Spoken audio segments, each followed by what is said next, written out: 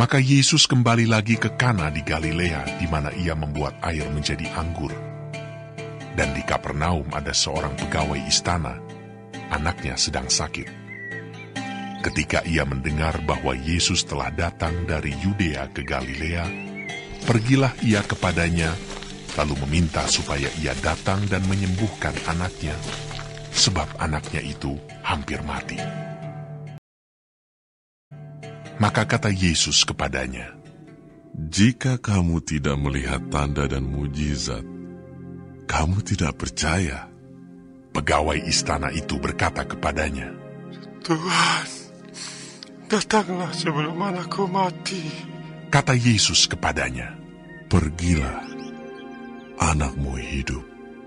Orang itu percaya akan perkataan yang dikatakan Yesus kepadanya, lalu pergi. Ketika ia masih di tengah jalan, hamba-hambanya telah datang kepadanya dengan kabar bahwa anaknya hidup. Ia bertanya kepada mereka, pukul berapa anak itu mulai sembuh? Jawab mereka, Kemarin siang pukul satu, demamnya hilang. Maka teringatlah ayah itu bahwa pada saat itulah Yesus berkata kepadanya, Anakmu hidup. Lalu ia pun percaya, ia dan seluruh keluarganya. Dan itulah tanda kedua yang dibuat Yesus ketika ia pulang dari Yudea ke Galilea.